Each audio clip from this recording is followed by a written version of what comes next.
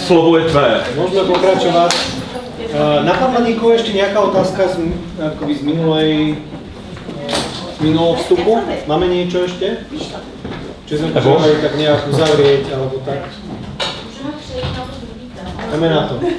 Takže, druhú tému, uh, ktorá s tým trochu súvisí, tiež budeme hľadať súvislosti.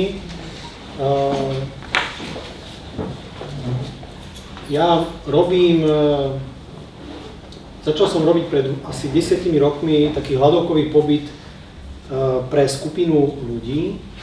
A ten hľadovkový pobyt je postavený tak, že hľadujeme 9 dní, ale vlastne akoby prvý deň je postavený, že sa rozbiehame a posledný deň je zase akoby na rozbeh na stravu, čiže 7 dní hľadujeme. A e, postavil som si to tak, že e, som chcel nejaký stabilný systém, ktorý by sa oprel e, a ktorý by som postavil akoby tú hľadovku a postavil som to na živote, čiže od začiatku, od vlastne počatia po smrť.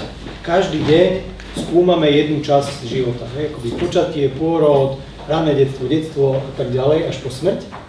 A tam som zároveň zistil, že to veľmi dobre korešponduje s takým ďalekovýchodným systémom, to je tzv. čakrový systém, čiže uh, Indovia nám priniesli tí naši starí rodičia, tzv. čakrový systém uh, a hovoria, že máme takých 7 základných čakier od jednej, od prvej až po 7 čiže vlastne, ktorá e, tak nejak e, korešponduje s tým našim telom, ale zároveň korešponduje aj s našou psychikou alebo s našim duchovnom. E, pokiaľ poznáte čakrový systém, a ja teraz nemám úplne priestor na to, aby som ho rozoberal a čo všetko tam akoby je alebo nie je, a kto nepozná, tak možno si to dotvorí na tej mape, a kto pozná, tak možno to tam bude vidieť trošku ľahšie, lepšie a sa bude pozerať na to možno trochu mojimi očami.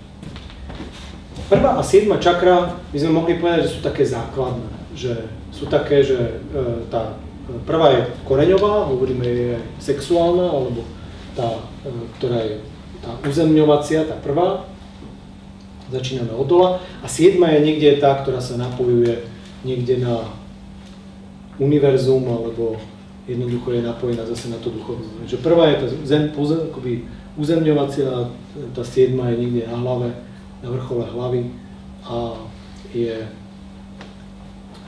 ide niekde do vyššieho. Čiže oni sú také akoby veľké tie čakry.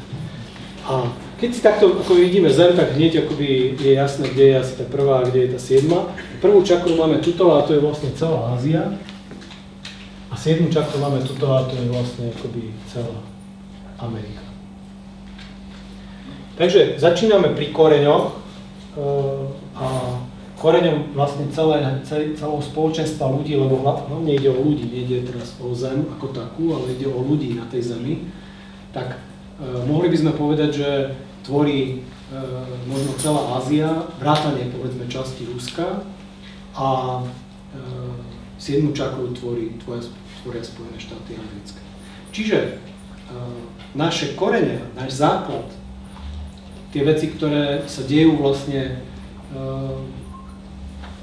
uh, ovplyvňujú všetky tie čakry z, z pohľadu možno takých tých fyzických vecí a z takých tých akoby, základných vecí sa dejú uh, z tohto pohľadu v Ázii a tie veci možno duchovného charakteru, napojenie niekam sa dejú povedzme uh, z tohto pohľadu Amerike. Ja som si akoby pozrel tie čakry aj preto, lebo uh, mne, a Toník už to trošku naznačilo, mne Slovensko začalo byť trochu malé, tak ja som začal chodiť viac po svete a umožnila mi to moja práca, nejak sa to udialo. Uh, viem, že som to mal niekde vo vnútri, ale zrazu ma oslovovali klienti a chodili za mnou na Slovensko z rôznych častí sveta. A potom prirodzene zase ja som chodil za nimi, lebo nie vždy oni mohli prísť za mnou a ja, e, niekedy človek si rád urobí nejaký výlet vonku a tým, že mi tak trošku bolo Slovensko malé, tak som mal možnosť si urobiť rôzne e, výlety e, do rôznych častí sveta, alebo ten svet prichádzal za mnou a bolo zaujímavé vidieť, že keď sa dialo niečo na tej úrovni jedného klienta, alebo celkovo, keď sa dialo niečo v tej časti sveta, tak to malo potom vplyv aj na nejaké iné časti. Čiže z tohto pohľadu by sme mohli povedať, že keď sa deje niečo v 7. čakre, tak to má e, vplyv na nejaký duchovný ráz akoby tých ostatných čakier, alebo na to, že či sú otvorené, uzavreté, či sú vlastne akoby priechodné, nepriechodné a podobne.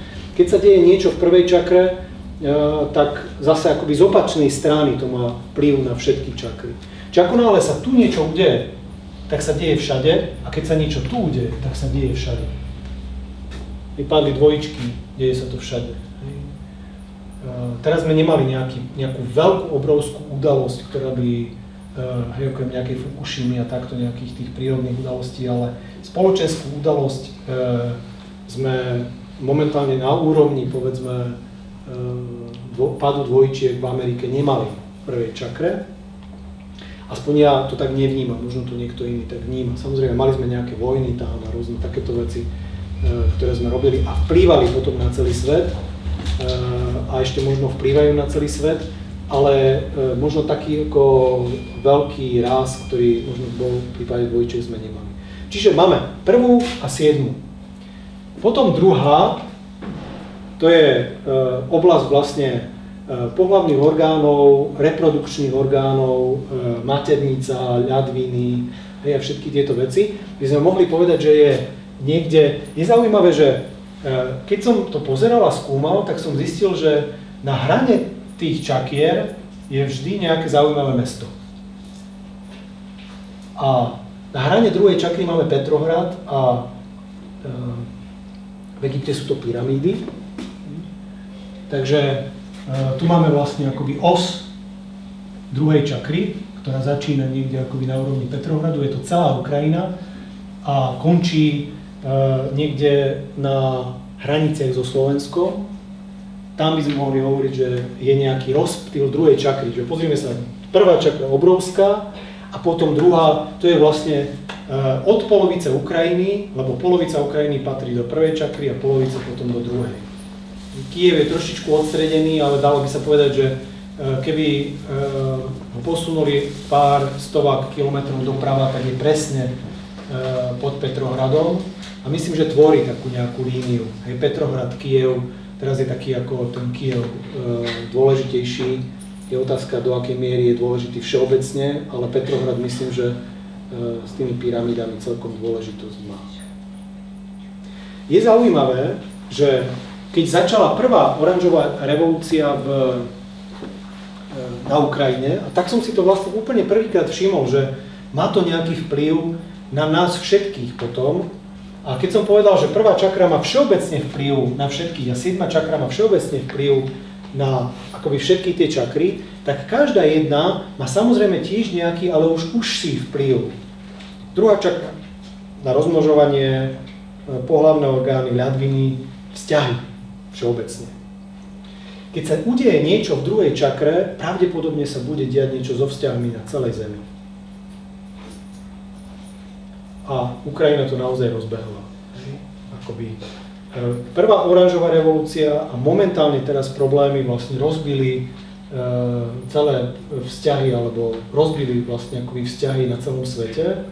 Je zaujímavé, že jedna takáto zem, ktorá, dá sa povedať, že nie je až taká podstatná, alebo nemala byť až taká podstatná, rozbila, alebo bola takým ukazovateľom na to, e, rozbitie, oni už boli rozbité pravdepodobne, hej? ale to, ten rozbeh začal až vtedy, keď v tej druhej čakre sa niečo začalo diať. Je niečo podstatné, niečo ako by dôležité. Ešte je zajímavý, že druhá čakra má oranžovou barvu, že no. no. A rudý Rusko je tam tá první čakra. Tu uvidíme potom aj ďalej, že tie farby tam ako, no. ale presne to hrá veľkú akoby rolu v tom, že si vyberáme rôzne takéto akoby e, symboly a ťažko povedať, či to potvrdzuje, alebo ako to robí, ale e, každopádne je to jeden z takých ako ďalších prvkov, ktoré tam ako do toho, e, do tých čriepov e, idú. Ako náhle sa niečo deje v druhej čakre, je to veľký ukazovateľ toho, že skôr či neskôr sa začnú diať nejaké problémy vo vzťahoch. A to nielen na svetovej úrovni, ale všeobecne aj na úrovni jednotlivcov také problémy, či už s ľadvinami alebo s pohľadnými orgánmi a vo vzťahoch vzťahovú terapiu, ktorú e, robím, alebo mám takú špeciálnu techniku na vzťahovú terapiu, tak e, v období oranžovej revolúcie to bolo nadmieru, kedy vlastne chodili ľudia so vzťahmi za mnou. A ako náhle začali problémy na Ukrajine druhýkrát, tak znova sa zopakoval tento model. Nadmieru. Až akoby, že viditeľne nadmieru sa začali riešiť. Samozrejme, vždy sa vzťahy riešia, ale ako keby, ako keby niekto do rozhlasu vyhlásil, teraz treba riešiť vzťahy. A nielen preto, že pravdepodobne tá Ukrajina vplýva na nás, ale my vplývame na ňu. Naše vzťahy, ktoré riešime v každodennom živote, vplývame na to, ako vlastne sa tam budú riešiť tie vzťahy. Ako vlastne tá druhá čakra tej ľadviny a tie pohľadné orgány Zeme alebo toho nášho spoločenstva budú fungovať. Takže každý z nás by sme mohli povedať, že prispieva k tomu, ako sa to tam bude riešiť. A zároveň je to tak zadané, že polovica Ukrajiny je v jednotke čakre a polovica v dvojke. Čiže e, je to e, krajina, ktorá naozaj to nemá jednoduché, čo sa týka rozdelenia, aj všeobecne akoby spoločenského rozdelenia a e, z toho, ako je to vidno vlastne línia Petrohrad, Egypt, tak je rozdelená vlastne na dve časti. Keď sa pozrieme do tretej čakry, a to sme my, Slovensko, Čechy, čas Nemecka, hranica by sme mohli povedať, že je Berlín, tretej čakry. A niekde tá druhá strana hranice by sme mohli povedať, že niekde, keby sme zo Slovenska hovorili, tak buď Košice alebo Užhorod, tá, akoby táto línia.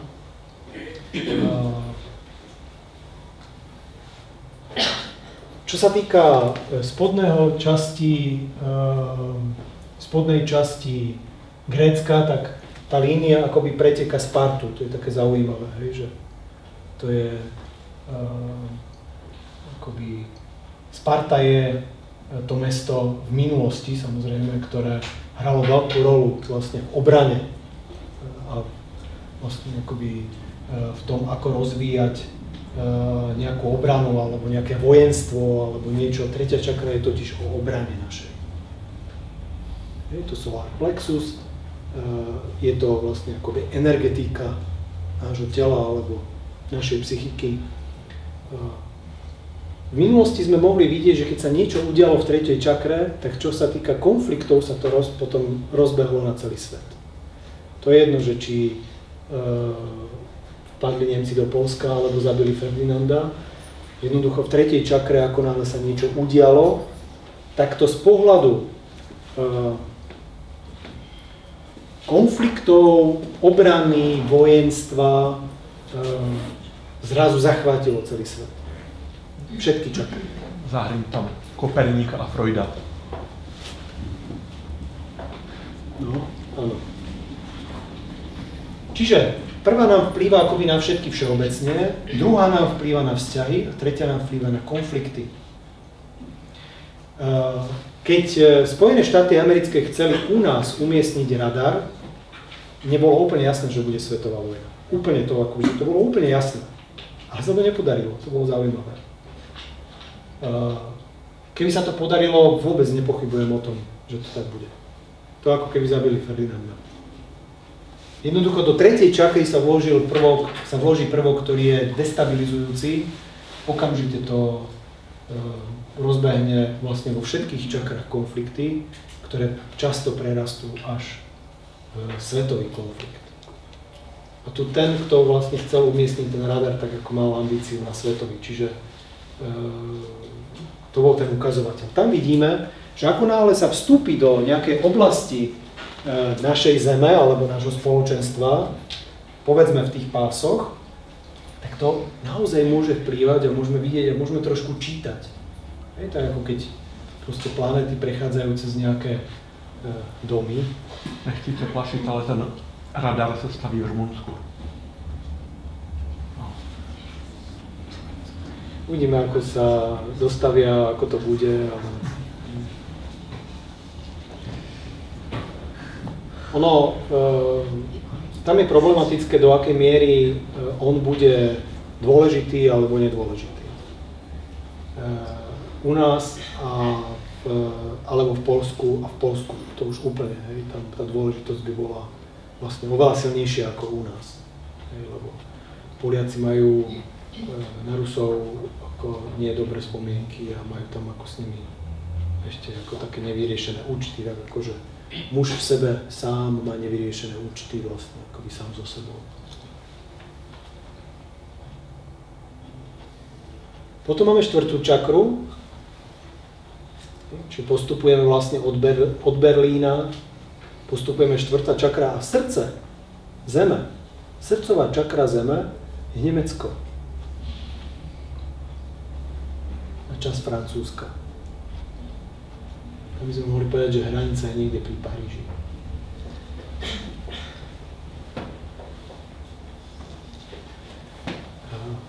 Ako jeden z najtvrdších národov Zeme je v oblasti srdca. To je zaujímavé, že? Ehm, keď sa udeje niečo na nemeckom území, ehm, čo sa týka emócií, alebo čo sa týka možno takého toho napredovania, to srdce bije, tak to pocíti celý svet. Momentálne sa zdá, že Nemci si vybrali túto rolu. Nepripustia žiadne emócie tam. A držia vlastne už veľmi dlho svet takto akoby v, dá sa povedať, kľude emocionálnom. Taký paradox. Francúzi to tam trochu akoby samozrejme eh, do toho akoby hovoria, ale eh, Paríž až niekde eh, k Lisabonu môžeme povedať, že je peťka čakra. Od Paríža k Lisabonu. Čiže peťka je celé Anglicko, v podstate väčšina Francúzska a celé Španielsko. To je náš prejav našej zeme. Hovorca zeme. Vidíme, ako aj ten Kolumbus sa prejavil a vyšiel je to otázka e, akoby toho prejavu, aký máme, akoby suchý anglický až po nejaký španielský a patrí tam samozrejme aj akoby nejaký prejav e, Afriky. Čo tu máme? Peťku. Sloboda. Vieme, kde sa ebola teraz pre, prejavila? Sierra, Sierra Leone, niekde tuto v tejto oblasti, Peťka čakra. Útok na našu slobodu. Ešte ako nevieme, aký to bude mať dosah, ale pravdepodobne to rozvibruje všetky čakry, čo sa týka slobody. A je pravdepodobné, že budeme trošičku neslobodnejšie po ebola. Alebo už sme teda, lebo tam ten ukazovateľ je silný. Aj keď je otázka, Eh, aký je ešte akoby ten ukazovateľ silný, v médiách to je silné, ale eh, či to je naozaj také silné, to ešte uvidíme. Každopádne, keď sa bude mať prejaviť, tak sa prejaví do našej slobody. Alebo teda neslobody. Šestka. Kde je asi šestka čakra? Uprostred Atlantiku. No. Hej, ako tretie oko, Bermudský trojuholník, uprostred Atlantiku, tu e, si predstavujeme, že pravdepodobne bola Atlantída niekde, takže máme akoby v tejto oblasti také ako trošku vákuum. E, nemáme to tam tak až spoznané, tam moc nespoznávame, lebo je tam more, ale tam je šiesta čakra zeme. Pokiaľ sa tu niečo udeje, tak tie naše vízie a tie naše akoby napredovanie, čo sa týka možno akoby toho vnútorného postoja, e, sú problematickejšie, ale našťastie sa tam veľa toho nedieje. A potom máme 7 čakru, to sú tie Spojené štáty americké.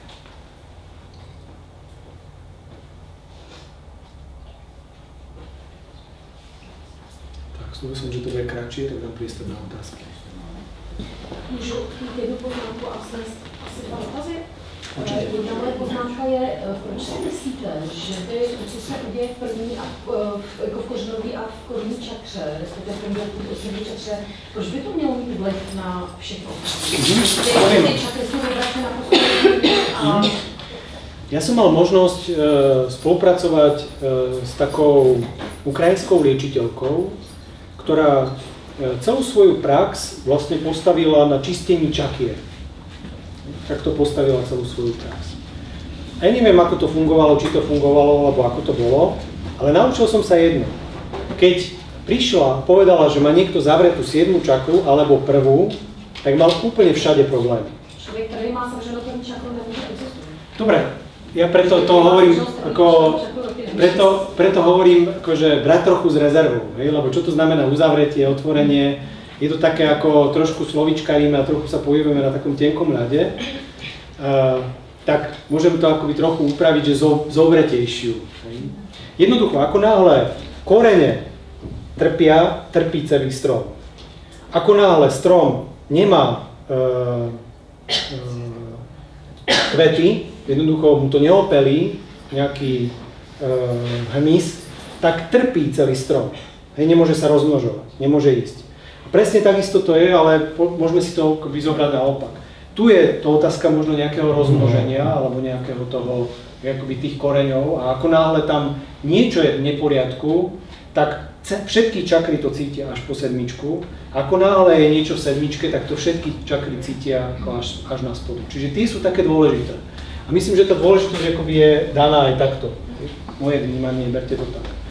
A to, že tá koreňová čakra, áno, súvisí s nejak akoby s tým našim rozmnožovaním, s tým našim akoby, ani nerozmnožovaním, e, s takým tým ako zakorenením a takým tým e, stabilitou a istotou a všetkými takýmito vecami.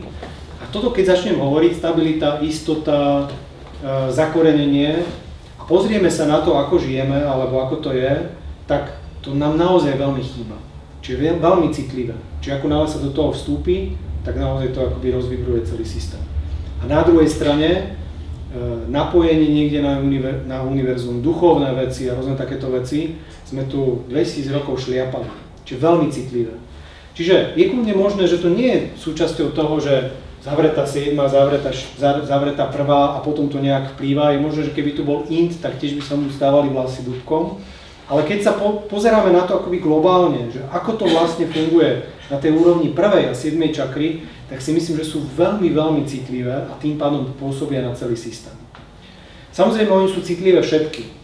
Ale potom, keď sa pozerám na tie ďalšie 2, 3, 4, 5, 6, tak si myslím, že oni už akoby sú ohraničenejšie. A už ideme viac do vzťahov, už ideme viac do toho, do tej energie a už ideme viac akoby do takého ohraničenejšieho. A naozaj, čo sa týka toho, keď sa niečo stane v tej prvej a v tej siedmej čakre, tak ako keby sme ani nevideli, že e, ktorým smerom sa to vydá. Že to má taký globálny charakter. Ako náhle to uvidíme v tej druhej, tretej, štvrtej, piatej, tak vieme aspoň, ako sa to vydá, že tam budú vzťahové veci a tam budú energetické veci. Stačí takto? Mm. A otázka? Druhá otázka byla ten koncept toho rozdělení čakr, který já třeba znám úplně jinak. E, to je teda jakoby něco, co byste si sám pocitil, nebo je to přes Má to nějaký vliv? Čo som teraz povedal, akože koreňová, vzťahová... Ne, ne, myslím si, myslím si spíš jakoby to lineární rozdělení jakoby těch čakr země. To je ako, áno, to som k tomu prišiel bez toho, to, skôr v praxi nikto ma nejak akoby neovplyvňoval, lebo tak to je... akoby na cítení. Uh-huh. Uh-huh. A potom... Také akoby overovanie a pokus omyl a keď sa niečo deje tam, čo sa deje vo svete, hej, ako, možno sa dostaneme ešte k nejakým ďalším prípad, príkladom, nielen e, v tej druhej čakre, že príde revolúcia a vzťahy. Ale... A potom uh, druhá čakra, odkud plyne tá, uh, tá myšlenka, že súvisí se vzťahom? Druhá čakra. Je to otázka, e, čo sa týka možno psychosomatiky ľadvín, tie sú akoby vzťahové. E, je to aj otázka toho, že ako náhle hovoríme o rozmnožovaní, tak ako vzťah tam musí hrať nejakú rolu. Bez vzťahu sa nerozmnožíme. A nevnímate vzťahy spíš ako ve e, z tohto pohľadu nie, čo sa týka rozmnoženia, čo sa týka akoby párovania, tak nie. Ale čo sa týka citov a pocitov, tak samozrejme, že tam to srdce hrá rolu. Len vidíme, ako to je. Hej, to Nemecko nám hovorí, že aké máme city vo vzťahu. Momentálne. Skoro žiadne. A nedomluví, že to tam je ta závislost jako společenství, společnost, proto ta druhá čakra a čtvrtá čakra jako jedinec, ty vztahy. Môže to trochu byť, ale ja by som to skôr rozdelil na to partnerstvo a na tie city. Hmm. Alebo emócie. A to, že Nemecko je teraz tam, kde je a že vlastne obsadilo to, ten priestor a rozvíja sa tam, tiež nie je náhoda. Jednoducho tam sa práve malo rozvinúť, tak ako máme na oblohe tú lunu. On nám niečo rozvíja. Že momentálne máme jednoducho e, na srdci e, jedného z najtvrdších e, národov, ktorý sme kedy mali na Zemi. A nepatří k srdci ta Itálie pod tím jako... Trošku áno, jasné, jasné. Časť Itálie tam je. Takže to asický rozdělení spíš, že tam je Takto. italský a tom Takto, je- áno, áno, áno, áno. Nie, Nejaká nie, je to, nie je to akože čisto nemecké, lebo samozrejme, že je tam nejaká Itálie, sú tam nejakí severania, hej, ako len e, e, keď to začneme miešať, tak e, zrazu zistíme, že máme v srdci tvrdosť, máme tam talianské akoby emócie, takže takú až moc ako, takú prebújdenlosť, hej, by sme mohli povedať. A potom máme takú nejakú severskú uh, aj náročnosť, aj uh, istú voľnosť. Hej, tí severania majú teraz tak ako veľa, veľa voľností tým, že tam majú ropu a rôzne tieto veci. Hej, takže, hej, ale myslím, že v strede srdca je to Nemecko. Veľmi A tam to Švýcarsko, jak je mezi tím, jak rozděluje ten No. a jaký si tam k tomu nemáš nějaký postřeh, to Švýcarsko celost. No, uh, podľa mňa to je presne ten neutrál, kde uh, ich sa vlastne akoby nie je možné akoby dotknúť, lebo presne sú akoby na tom rozhraní a našťastie si držia práve taký ten prím toho, že si vytvorili takú tú nedotknutelnosť, čo, na, čo bohužiaľ Ukrajina si nevytvorila. Aj Keby si vytvorila, tak máme vzťahy trochu stabilnejšie. Momentálne nám e, Švajčiarsko hovorí, že um, veľa rozhodujú o vojnách a o konfliktoch a o našich emóciách peniaze. Je, lebo to je presne na rozhraní. Čiže keď e, budú peniaze, peniaze, peniaze, tak ako to v jednom našom slovenskom filme, tak môže byť vojna. A keď sú peniaze, tak aj emócie sú.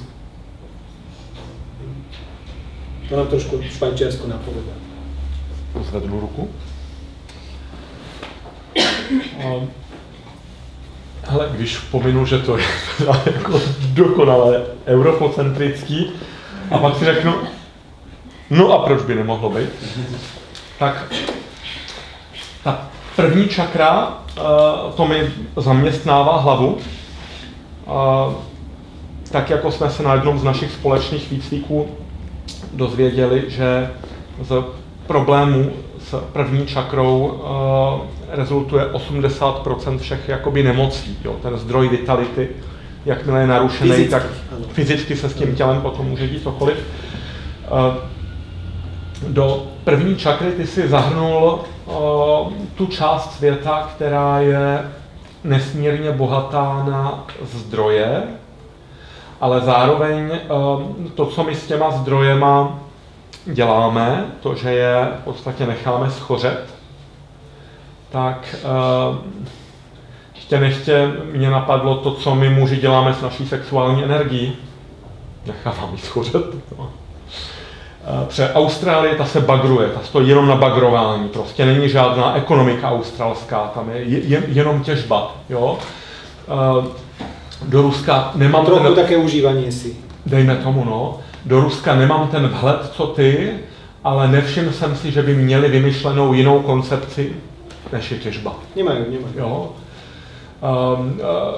Ta Čína, jako Číně je zapotřebí přiznat, že tam se uh, tvoří věci, jakože, uh, ale dejme tomu, že všechna hmota tam vzniká v Číně, že cokoliv na sobě a tak dále, to si všechno Tam v jsou Číně. jo. lidský zdroje možná, ne? Takový ty úplně bazální.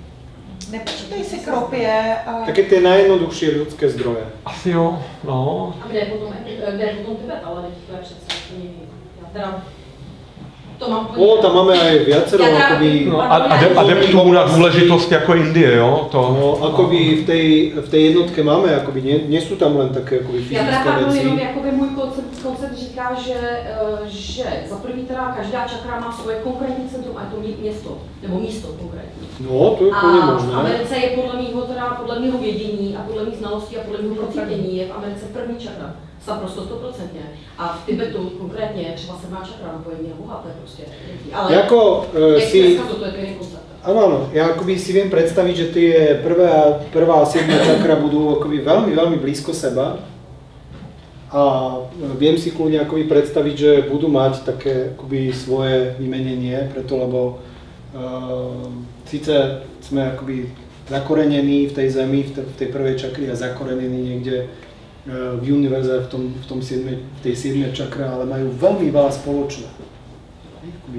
Prvá že siedma. to tak rozumím, že vůbec nemůžeme dávat do jedného, do jedné jako části světa, ale jako. Ale e, napriek tomu vidím tú jednotku tam a keď e, Toník akoby hovoril o tom, že e, s tou prvou čakrou naozaj narábame veľmi tak e, krát, nepriateľsky, krátkozrace, prostě pálit uhlí, to je šílené. krátko, zra, krátko zrako, aj, až by som povedal až tak akoby nepriateľský. Uh, to, že tam máme nejaké ohniska nejakej duchovnosti, to určite áno, ako uh, Tibet, ale vidíme, čo sa s ním deje, že ako to tam je. A jestli tam ještě A- jsou pořád teďko ty duchovní města? No, tak no. Ono, uh, ako náhle sa niečo v tej jednotke udeje, väčšinou musí do tých ďalších čakier. Hej. To, napríklad aj v Tibete to máme tak. Ako náhle sa niečo vyrobí v Číne, tak ide do celého sveta. Ako náhle sa udeje niečo v Rusku, tak ide do celého sveta. Hej. Tak. Já jsem se k tomu chtěla zeptat, jestli by s tím mohla souviset to, že vlastně eh, ten východ jako duchovní je z hlediska eh, toho proudu jako kundalini, to znamená od té první čakry, že to vystřelí prostě nahoru a je to jakoby nějaký tradiční směr. A ta Amerika, jestli může být jakoby ten opačný směr, kdy vlastně jako se to chytá z toho, eh, Vidím z to toho tak. vesmíru. Akorát se chci zeptat na tu šestou čakru a souvisí to vlastně i s tématem předchozím. Duchovnost Ameriky, když vezmu třeba různé obchodní společnosti, které hodně využívají šamanskou cestu a vizualizace a bohatství, možná to souvisí i s tím, co jste tam zažil vy, tak mě tohle to spíš jde k šestý čakře, kde vlastně se skutečně ještě kus Ameriky nespadá jako nějak promíchají. Ja si myslím, že New York je ešte trošku 6. čakre, myslím si. Časť možno aj akoby e, Južnej Ameriky by mohla patriť do 6. čakry. E, ja som 7. čakru v Amerike zavnímal preto, lebo v podstate väčšina duchovného vedenia Ameriky je postavená na channelingu. Je jed- jednoducho stiahnutá od niekiaľ. A v podstate, e, neviem koľko, ale naozaj veľké percento vlastne nevieme odkiaľ. Áno, nie, to je to možno niekde z nás, alebo je to akoby kto vie, ale je to jednoducho akoby stiahnuté. Nie je to prežité, tak ako to má India, Čína. Hej, oni majú prežité veci, to sú ako, to sú akoby čínska medicína, keď idete k čínskemu medicímanovi, tak on proste má v sebe vedenie 3000 rokov. Keď idete e, k nejakému channelistovi v Amerike, tak to sú že 5 rokov. A oni môžu mať rovnaké účinky, rovnaké výsledky, ale dospeli akoby inak k tomu vedeniu. A myslím, že preto by som akoby tú Ameriku do tej 7. čakry celkom zadal. Ale šiesta je taká akoby trošku záhadná, ona je všeobecne, my tú šiestu Málo zmapovaná. eh, ako, hej, nemáme ju až tak prebádanú. Tá šiesta čakra je pre nás taká uh, veľmi podobne ako ten bermudský trojuholník. Hej. Jednoducho taká ako eh, neznáma, nevieme, čo si od nej máme ako zobrať, či máme ako ju využívať, nemáme využívať. Uh, často vnímam, že nerezonuje u ľudí šiesta čakra, keby ju nepoužívali. Hej, že ako keby vyzerala, že je zbytočná. Keď zase ju začnú používať, tak blbú trochu. Hej, ako je to také, že hej, máme tam také dosť disproporcie v tej šiestej čakre. Uh, najprv som ju mal úplne postavenú mimo uh, kontinentov, ale viem si predstaviť, že môže akoby trošku zasahovať niekde akoby do Afriky a môže by, mohla by trochu zasahovať aj do tej Ameriky, ale je to také otázne. E, tu som nemal možnosť tak precítiť len z hľadiska klientov a e, musím povedať, že mnohé akoby brazílske techniky, ktoré sa tam teraz tlačia, čo sa týka pôrodov, tehotenstva, prenatálneho obdobia, ktoré my rozvíjame, ale ako tak pracne, tro, trojkou čakrov, hej, tak ako e, keď ja rozvíjam tie prenatálne techniky, ja som mal jedného klienta, ktorý prišiel e, z Brazílie, tam urobili akoby pre, prechádzanie prenatálu, uh, tak uh, som sa študoval, že to bolo také akoby jednoduché. A on to tak bral, že je to také jednoduché. U nás je to také akoby, také ako, že treba to naozaj, ja, kým som vôbec prenatálnu techniku doviedol tam, kde si myslím, že eh, by mala byť, alebo eh, že, by, že je možné učiť a možné akoby ísť, tak to bolo asi 1500 prenatálov, kým ja som prešiel vôbec klientmi všetky tie prenatály a, vlastne akoby získal tie informácie o tom a že čo s tým urobiť. Bolo to taká ako mravenčia práca, taká troj, trojková. A viem si predstaviť, že keď som sa tu presťahoval a akoby robil prenatál, tak to mám za pol roka a všetko akoby bolo jasné. Hej. Proste by to tam chodilo a bolo by. Len to mi došlo až, keď som to všetko urobil. A prišiel klient a mi to povedal, a ty sa tu trápiš a oni to tam ako na to prichádzajú, že sa tak ako pozrie, urobí om a je to, hej. Čiže čas Brazílie by som tam videl. Možno trošku akoby aj... No jasné, ayahuasca. Peru, Peru, to v Mexiku, přesně tak. No. Takže oni proste si tam niečo šlehnú a je to. A pokiaľ ako majú to vedenie, majú akoby, hej, že to nie je fakt len nejaký úlet, čo tu majú, oni to tak majú, lebo jednoducho im to hovorí tá šiesta čakra. Musíte, akoby človek ide, uh, hej, zoberie si aj jasku v Európe a úplne inak to bude fungovať ako tu. To je, hej, a ešte, keď tu si ju zoberie a hneď sa vráti do Európy, tak to úplne inak hej, začne fungovať ako keď tam ostane pol roka, rok a vlastne celý ten proces sa do, hej, dorazí. Ja tu som mal mnoho klientov, ktorí chodili na, na týždeň, na dva týždne hej, a prichádzali a prišli do Európy a zrazu ako ich to dostalo. Hej, všetky tie psychospirituálne krízy a rôzne takéto veci. Hej, v súvislosti tak, že jednoducho sa presuniete zo šestky do trojky a zrazu máte bojovať s niekým, s tými informáciami, ktoré máte. No to je akože e, problematické. Nie je to jednoduché. Že pokiaľ by sme rešpektovali vlastne to presúvanie a to, že akoby sa niekam dostávame, tak e, možno by to fungovalo inak. Ja keď som bol e, dlhodobejšie v Rusku a už som vedel o tomto systéme, tak to vracanie sa do trojky čakry bolo veľmi postupné. Ja som ako si vôbec, keď som si hovoril, že nemôžem mať ešte klientov, lebo keď som sa prvýkrát vrátil z takej dlhšej časti v Rusku, tak to boli veľké boje. A ja som úplne pevne stál a nechápal som, že a tí druhí nechápali, ako ja môžem tak pevne stať a ich úplne valcovať. No samozrejme, človek nacíti prvú čakru a je ako tak pevný, že okamžite každý konflikt e, dokáže bez problémov zvládnuť. Hej? Čiže e, musel som aj trochu z toho Ruska sa vrácať e, pomalšie. Hej? A samozrejme ešte tá veľká krajina, človek sa vráti a si myslí, že v akých dedinkách vlastne sa ocitol niekde. Pamätám sa raz, keď som e, priletel, myslím, do Prahy, tak som vyšiel vonku a teraz si hovoril, to tu ja som študoval a žil v týchto ako e, mravenčekoch, v týchto ako uličkách malých. Obrovská krajina. Co ve mně, prosím tě, zvláštně rezonuje to téma mm, té druhé čakry a i jak si do Ukrajiny umístil to pomezí té první, druhý, tak uh, nejdřív jsem měl pocit, že uh, to vidíš hodně z tvého slovenského pohledu. Ale, ale, mm, ale, tam je, tam je zvláštní, prosím tě, že to, co Ukrajina řeší teď na podzim, že veškeré energetické zdroje jsou na východ od Dněpru. Jinými slovy, uh, všechno uhlí tam je všetko. mají tam úplně všechno, přesně tak. Když to Kijev a Lvov má jenom ty lesy a z těch se, ne, z těch, školy. a z těch se nezahřeje, přesně tak, jo.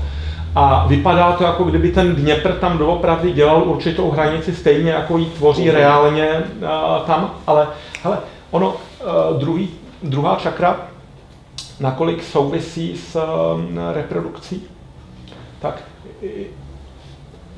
tak jako vnímáme, že Ukrajinci jsou uh, rozesetí v tom, v tom našem prostoru, tak podobně uh, palestinci jsou hodně rozesetí. Aj tak to vnímame, uh, že sa tak... Turci, jo, vy, vypadá to, že ten pás druhé čakry tam má jednoduše plodnost, že lidé se rodí a rozbíhají se do světa. Ano, a, a my ich tak vnímame. Ano. Že takíto sú, že nám vlastne akoby tu tak ako keby zrkadlia tú plodnosť a rôzne takéto veci. Bojíme sa trochu toho, že sa rozmnožia a tak. Hej, tá druhá čakra je tak...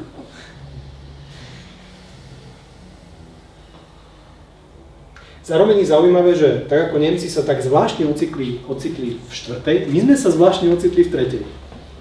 Je to také zaujímavé. Je, že my, ešte s Maďarmi, to je také zaujímavé, a s Rakúšanmi sme sa ocitli v tretej čakre. A nechápem, co tam děláme. Vôbec nevieme, čo tam robíme. No čo robíme? Kľud tam robíme. Aby ako by bol pokoj na zemi, to robíme. Uh, lebo ako by zase tá slovanská duša nemá úplne v sebe ten konflikt. Tak ako možno iné. A my sme sa ocitli práve e, v čakre akoby konfliktu, takže uh, myslím, že akoby tá rozdelenie Československa, vlastne akoby e, Mnichovská dohoda, ako už ju e, vlastne berieme, tak má aj iné rozmery. Nemá akoby len ten rozmer taký, že uh, máme tam rôzne akoby zranenia a takéto veci, ale má tam aj akoby trochu ro, rozmer akoby rozdelenia uh, takých tých pozícií a čo vlastne v tej tretej, tretej čakre sa môže udiať. A byli jsme nárazníkový státy, ne? Byli jsme nárazníkový pásmo před cementovou revolucí, jakoby na... Aj, no, a keď sa pozrieme na juh, hej, čiže keď sa pozrieme na Srbsko, tak to je tam úplne, hej, že tam, tam vlastne e, sa všetky vojny, všetky boje vlastne v tej oblasti. Tam Řecko, klidně zahrneme tam taky. Proste tam, tam ako, to, to bolo naozaj akoby nárazníková zóna pre mnohé veci, v minulosti aj teraz. A co, co je taky, mi to tou hlavou vrtá, že uh, my máme v Evropě uh, 4 až 5 koloniálních možností, uh, mocností. Určitě Velká Británie s Commonwealthem, určitě Španělsko, který od Filipín až po Mexiko, určitě Portugalsko s nedozírnou Brazílií a, a Holandsko, který spravovalo celý indonéský prostor. Jo? A tyhle země, že vycházejí do té komunikační sféry. No oni to len ukecali všetko. Ako náhle sa to prehliadlo, že to len ukecávajú, tak museli sa stiahnuť. Jo.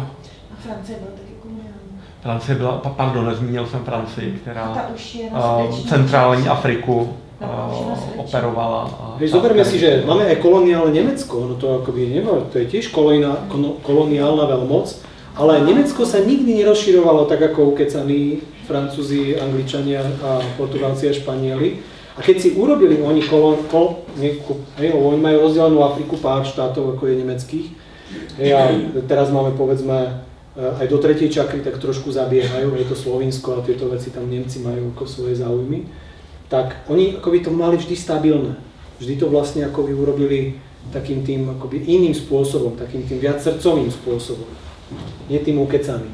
Hej, že, e, neboli tou koloniálnou veľmocou tak, ako ju poznáme z Anglicka alebo e, Portugalska, Španielska. Vieš, že sa presunieme len akoby z čakry do čakry a zrazu ako vidíme, že tam je úplne iný pohľad na nejakú kolon, koloniálnosť. Hele, co, Nebo mě, prechod do co mě ta optika přináší, uh, určitý druh schovývavosti vůči jednotlivým koncům našeho světa a to vědomí, že my je nesmírně moc potřebujeme. My nesmírně moc potřebujeme, aby fungovali, protože jsou součástí celku a my se neobejdeme bez nikoho z nich prostě, jo. No.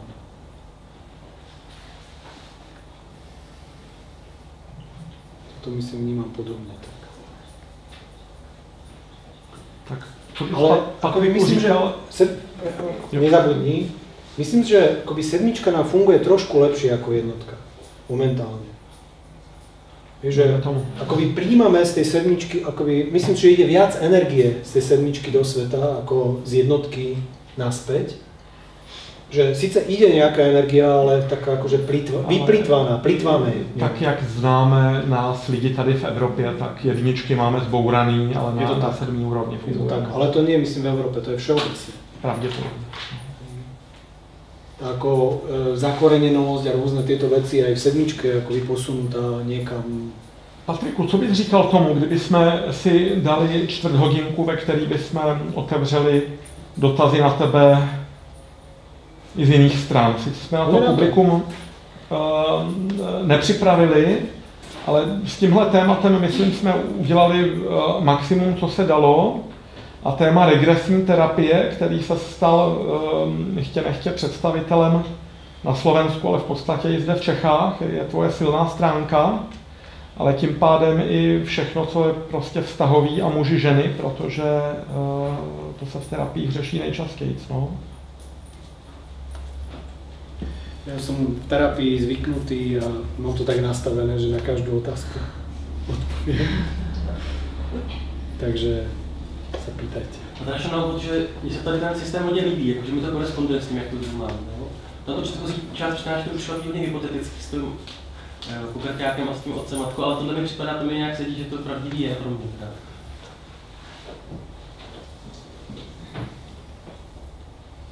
Tak, to je taká poznámka a máme nejakú otázku? Můžu se ještě čeká na jednu věc. Já se teda snažím být otevřená novým konceptům, ale když si představíte, že zbavíte tu mapu do koule a, a představíte si tam to čakerní rozdělení, tak jak vy ho vidíte, co vám to jako dává? Protože mě to nedává moc lehko. Nie úplne. Jo. Mhm. Inak e, takto rozložené e, vidíme asi najviac našu Zem. Je takto rozloženú. My myslím, že ta stále... energie zase něco jiného než jako energie té plochy. Já si nemyslím, že je tak jednoduchý, a narýsovat to. Takhle prostě příroda nefunguje. Jako linka v přírodě ne, není. Ale E, Tuto, tuto by som videl, že skoro až sa to dá takto narysovať. Mám takú skúsenosť, hej, že naozaj sa to fakt až dá narysovať a ten, tie rozdiely sú takto, ale je možné, že to tak nevidíte. A i časovou hranici beru jako konvenci. Z druhé strany eh, časová hranice um- umístěná do eh, Pacifiku a Polynézie pravděpodobně nevznikla náhodou. No. áno. Myslím, že ešte stále my sa pohybujeme akoby na doske. Ešte stále sme 2D ako ľudstvo. Ešte sme sa nedostali do gule. Takže to je trošku odpoveď tam. A zároveň, keby sme to spojili, tak naozaj myslím, že prvá a siedma čakra je veľmi, veľmi blízko seba. Keď nie sú, tak je nejaký problém. tak ono vlastně, když se zvednou nádu, tak vlastně jakoby maximum, jakoby ta jedna přechází v minimum druhý, že jo, jakoby, takže to by dávalo smysl. Já jenom říkám si sebe, že jako pro mě to je dost překvapující koncept, ale jako těším se, že to budu studovat a pozorovat hlavně, že, že to je jakoby nacítila to. Jako je to fakt zajímavý. Ono to Japonsko jako kdyby eh, paradoxně patřilo do obou světů. Eh, Ono ta je- hranice- Jedna i sedm, tím, že to je americká kolonie už asi 200 let, eh, skrytě, ale přece, ale zároveň eh, to provázání s Ázií je úplně jako, že víc si to představit nelze. Jako, no. Je to tak zároveň akoby to Japonsko sa akoby bráni veľmi ísť do Ázie a, a bráni sa zase ísť aj do Ameriky. Hej? Že, že má tam akoby tie tlaky k tomu, že kde vlastne patrí a ako to tam vlastne je. A, a je to niekde na rozmedzi, no, to pomedzie. No, myslím, že aj, aj. Tak, napadá vás ešte nejaká otázka? Co radíte lidem na fungující vztahy? Co radíte lidem na fungující vztahy? No, ja som nastavený hlavne aplikovať regresné techniky, takže neradím nič. Uh, Jednak som zistil v praxi, že uh, keď človek poradí, tak poradí len sebe. Že- Takže to potom nemá zmysel, akoby radiť niekomu inému. Ale akoby má to zmysel to robiť tak v duchu, človek vlastne ako si zapíše, že čo vlastne ako e, sebe poradí. A e, potom myslím, že má zmysel akoby aplikovať skôr nejaký postup, nejaký systém, nejaké techniky. Ten potom môže mať nejaký výsledok. Rady myslím, že nemajú v tomto zmysle skoro žiadny výsledok. Takže neradím, nemám to e, portfóliu. Mě tvoje odpověď vyhovuje v tom, že občas klientům poznamenám mezi řečí, víte, já tu celou dobu mluvím jenom sám o sobě. A nebo říkám, víte, vy tu vedete rozhovor jenom sama se sebou, jo? že to vede s chodou okolností přeze mě, to je taková náhoda, ale vy si povídáte sama se sebou. No. Takže myslím, že je to efektívnejšie. Jednoducho príde klient a máme nejaký systém, ten zaplikujeme a keď vieme, že funguje, tak on by mohol zafungovať jednoducho aj na toho klienta. A když se vezmete vlastně ten váš počátek s Tomičkem, že jste vlastně studovali u Dragomireckého a potom jakoby prostřednictvím, praxe máte nesmírně bohatou, tak jakoby změn, nakolik vás to změnilo, jako, jako procentuálně dá se říct, co by vás zůstává ten Dragomirecký? Nebo co je už vaše nadstavba? Neviem, či sa to dá nejako oddeliť. Eh, lebo ako každý nejaký učiteľ, tak eh, ako by vás niekde pošťuchne a tam už sa nedá akoby to, že je, teraz je, toto je on a toto nie. Ale v zásade by sa to dalo možno povedať, eh, keby sme to mali fakt ako prakticky rozdeliť, tak Andrej priniesol z môjho pohľadu, my to už teraz voláme v mojej praxi, že základnú techniku, základnú techniku regresnej terapie, je to technika, ktorá sa venuje telu, hlavne telu, e, takže vlastne rieši psychosomatické problémy a e, to vlastne akoby do veľkej miery Andrej rozvinul, priniesol a e, vlastne učil a učí. A ja som potom ako išiel ďalej. Čiže od tej techniky vznikla prenatálna, potom vznikla technika detstva, potom vznikla technika vzťahová, potom archetypálna vzťahová. Čiže od tej psychosomatiky ja už by som sa posunul k tzv. psychomodelovým problémom, čiže tie, ktoré, e, aké máme modely v našom živote a ktoré nás ovplyvňujú, čiže to, čo sa nám stále opakuje. Jako třeba, když ten model té oběti? Model obete, e, stále alkoholika si zoberú ženy, potom e, stále sme akoby v tom istom nejakom kole. Jednoducho niečo opakujeme, nevieme prečo, len vieme, že asi to opakujeme, alebo cítime, že máme nejaký problém, ale ešte nevieme, že opakujeme eh, niečo, tak to my voláme, že psychomodelové problémy a tie často siahajú do detstva, do prenatálneho obdobia, kde sme tie modely nabrali a potom ich opakujeme. Takže sme vlastne ako naša mama, sme náš otec, taký ten klasický, že žijeme život našich rodičov, hej, to je jeden z takých najčastejších modelov. Takže to sú psychomodelové. A potom sú ešte problémy akoby psychovzťahové alebo psychospirituálne ich môžeme nazvať a tam už akoby spadajú také tie veci ako i partnerské vzťahy a vzťahy s vecami, osobami, udalosťami, javmi, čiže čímkoľvek, čo, e, do čoho vlastne vôjdeme do vzťahu. A vo vzťahu sme so všetkým, čo dáme pozornosť. Čiže e, to je veľká oblasť nášho života a tá základná technika dokáže riešiť vzťah s telom, ale nedokázala, alebo dokázala, ale nie tak efektívne možno riešiť tie vzťahy, lebo museli sme ísť cez telo. Takže museli sme to akoby urobiť na telo, hej, tú projekčnú polohu tam urobiť, precítiť, hej, a tak. A e, teraz už máme také techniky, ktoré nemusíme to aproximovať na telo, prežívať na tele, hej, tam niektoré techniky alebo tie terapie trvali 4-5 hodín a teraz už ľudia nemajú čas uh, sedieť 4 hodiny v regrese a uh, kričať od bolesti. Hej, tak už musíme aj my terapeuti ako prinášať nové. Mm. Tak ako chirurgia alebo medicína sa vyvíjala a uh, najprv rezala tie nohy a bez anestézie, tak my už máme... Díkejte, děvčata, vy jste velmi tak, abyste nerušili, ale všichni víme, že jdete na autobus do Plzně. Majte sa pekne, šťastnú cestu. A Kari, ty se ptáš na Patrika na tu linii jakoby dopředu, ale ona je tam ještě linie dozadu pro pochopení a to spočívá v tom, že uh, Andrej Dragomirecký je akademický, jakoby přijímač Habarda. Jo, kdežto pak je tady Scientology, která je prostě dogmatický a sektářský. Sektářská aplikace Habarda, ale co nemám já zodpovězený, kde ty věci vzal Habard, vysvětlení jsou dvě. A jedna jeho otec sloužil u námořnictva na Filipínách, ergo jestli on to nemá prostě přes toho tátu, který to měl z Ázie. A druhý vysvětlení, on jak psal pořád nějaký ty, ty sci-fi knížky a založil si církev, která je založena na, na smyšleným sci-fi příběhu, tak jestli on to náhodou není taky čeno. Jo. Já myslím, že bych tady uvedla jednu věc, že se říká, že lidský mozek není schopný vůbec nic vytvořit. Že všechno, co vlastně Je přijato. Jo. Aha. Že to je jenom volno naladění. To je taková trošku asi. Mně to koresponduje přijá všechno, co vím, vím přesně, odkud to vím, kdy jsem to od koho slyšel a jak jsem to pozbíral, ale nevím o něčem, co bych vymyslel.